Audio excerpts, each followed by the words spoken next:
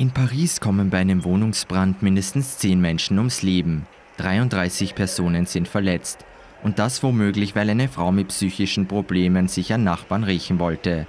Die Polizei hat eine 40-jährige alte Bewohnerin des Hauses festgenommen. Ihr wird Brandstiftung mit Todesfolge vorgeworfen. Ein in dem Gebäude lebender Feuerwehrmann belastet die festgenommene Frau schwer.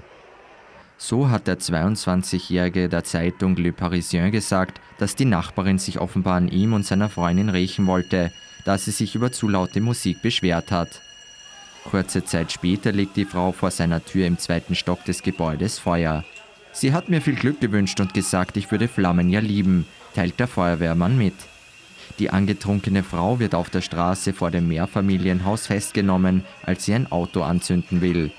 Nach Angaben der Staatsanwaltschaft leidet die Frau unter psychischen Problemen. Insgesamt sind rund 200 Feuerwehrleute im 16. Pariser Stadtbezirk im Einsatz. Der Brand aus den oberen Geschossen des achtstöckigen Hauses aus den 1970er Jahren kann erst nach mehr als fünf Stunden gelöscht werden. Die Feuerwehr kann einige Menschen retten, die in Panik aufs Dach klettern. Auf Twitter dankt Frankreichs Präsident Emmanuel Macron den Einsatzkräften für ihren Mut und schreibt, Frankreich ist in Gedanken bei den Opfern. Es handelt sich um den verheerendsten Brand in Paris seit fast 14 Jahren. Im August 2005 kommen 17 Menschen in einem baufälligen Haus im Osten der Stadt ums Leben, darunter 14 Kinder.